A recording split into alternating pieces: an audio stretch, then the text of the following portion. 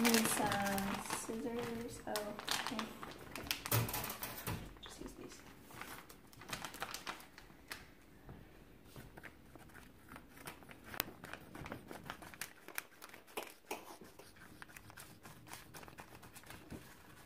Okay. Oh, it's gonna be really weird feeling. Don't breathe that in. It's stinky.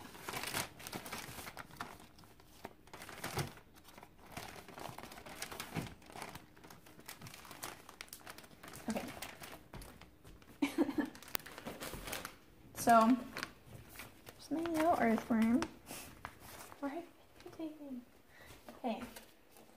So, first we have to identify some stuff.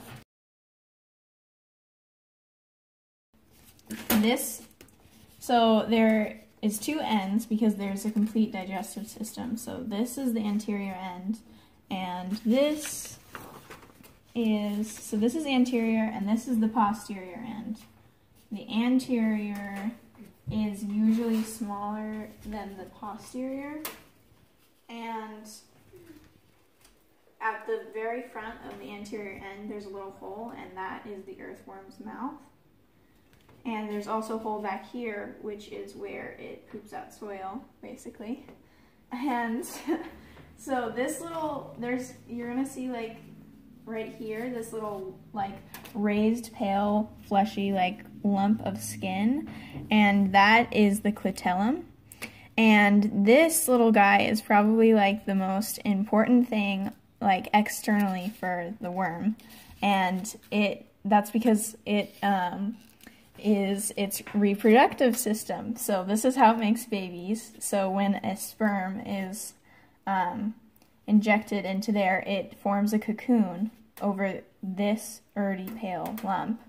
And when the babies are ready to hatch, it makes the cocoon slide off through the anterior end, off of its mouth, and then it deposits deposits it into the soil. And that's how it makes babies.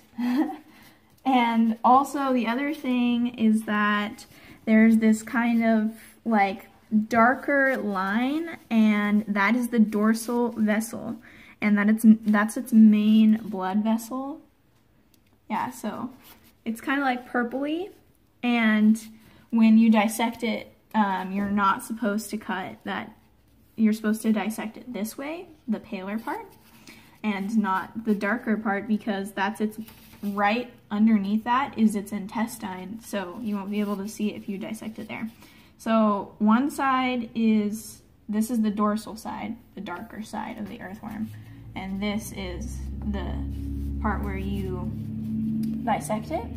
And if you feel it, like there's a different texture, like, so on the, on the lighter side, it's a lot more rough, and you can kind of like feel these hairs and those are that's called setae and basically those hairs help the earthworm move and kind of like creep forward into the soil. So that's those little hairs are that's what helps like make it move and yeah that's cool so I think that's everything oh no there's so there's little pores you can you can barely see them there's just little dots and those are just pores that help it extract nutrients and stuff. And um, I think that's everything that's external so we can start dissecting. Yeah, that's that's all. And the that the the color change, you're supposed to dissect it from the lower side. Okay, so now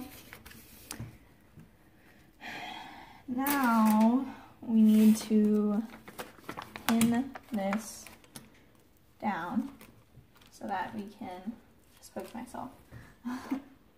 so, right through the mouth and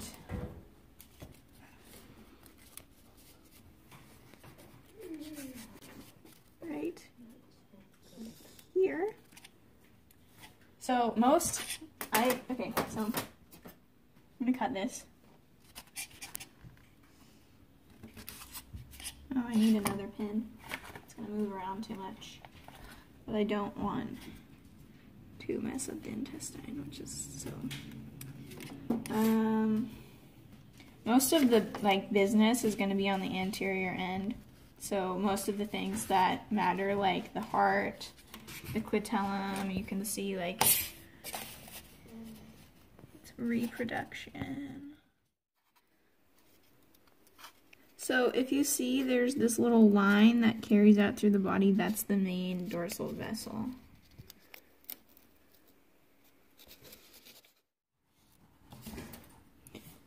So this is mostly just dirt because the intestine got opened.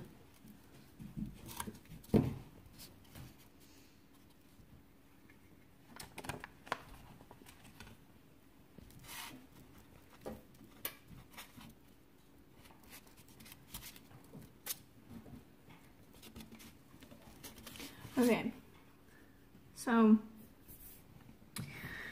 the internal anatomy.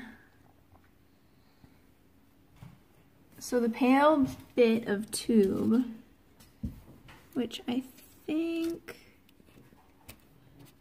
is right here and here. That's the pharynx and the pharynx then opens up into the esophagus, which should be where the scutellum was. Just kind of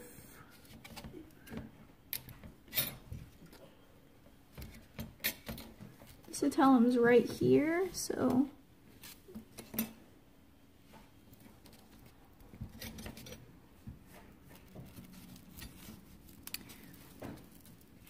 since this, um, since worms have both male and female organs, um, they, that means that if they are with another animal, another individual, they can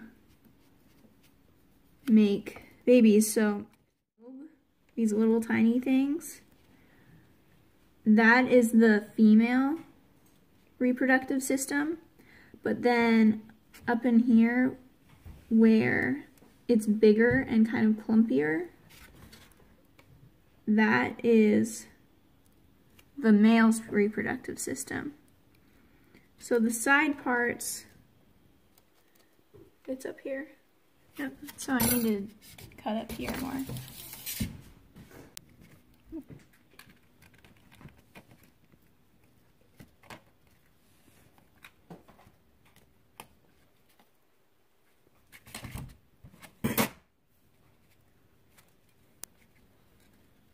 Oh yeah, right there. So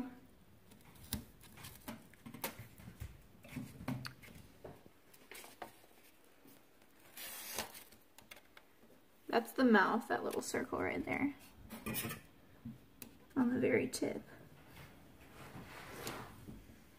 The anterior end and so it's hard to see, but this big lump of like um, up here. This is, all these little lumps are the male reproductive system. So that's where its sperm is held and created. And then the little lumps on the side, so in here, like there, there should be like two others there, they're, they are usually paler. And there, that's the female reproductive system. So they hold sperm. So the pharynx is up here. And then this is the, the crop is split this place, this little like bag of sac. Basically, that's what it is. This, the harder part is the esophagus and the fleshier part is the crop. And that holds all of the nutrients. So it kind of acts as like a stomach, but it's not it's not the main um, mechanical digestive part.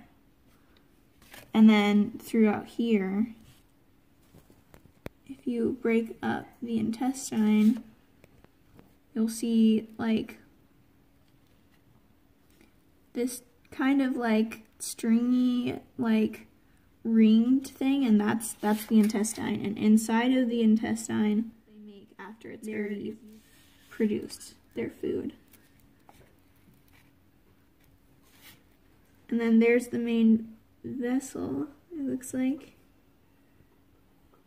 That got kind of torn up. It's right in there. This little part that's inside of the intestine, that's the main blood vessel. And then the heart, yeah, the heart is the the ringed part right here. Okay, so this is this is the esophagus, this is the crop, and then this ringed part is the heart.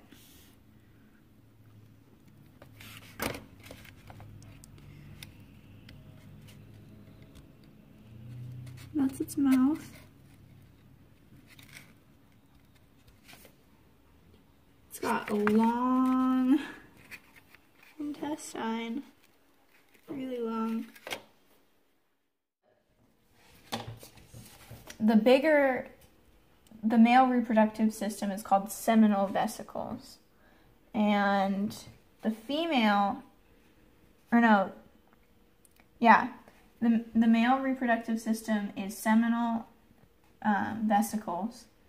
That's what they're called, these like fleshy lobes. And then the smaller ones, the female ones, those are seminal receptacles. And that's what holds sperm for females. And then the males produce sperm.